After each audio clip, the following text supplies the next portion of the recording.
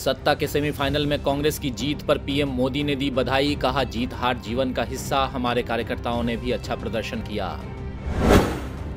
छत्तीसगढ़ और मध्य प्रदेश के लिए कांग्रेस ने बनाए पर्यवेक्षक ए के एंटनी को मध्य प्रदेश का जिम्मा, खड़गे संभालेंगे छत्तीसगढ़ की कमान। राजस्थान में कांग्रेस के सीएम उम्मीदवार पर सस्पेंस बरकरार, आज जयपुर में होगी विधायक दल की बैठक, अशोक गहलोत और सचिन पायलट का नाम सबसे आगे।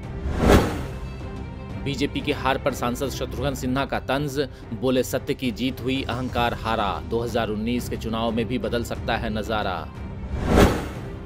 संसद के शीतकालीन सत्र का दूसरा दिन आज, लोकसभा और राज्यसभा में हंगामे के आसार रफाइल समेत कई मुद्दों पर घेरेगा विपक्ष। लोकसभा चुनाव के लिए आम आदमी पार्टी ने कसी कमर, बूथ मैनेजमेंट से पार्टी को मज़बूत करेगी आप। आज से शुरू होगी विधानसभा क्षेत्रों में बैठकें।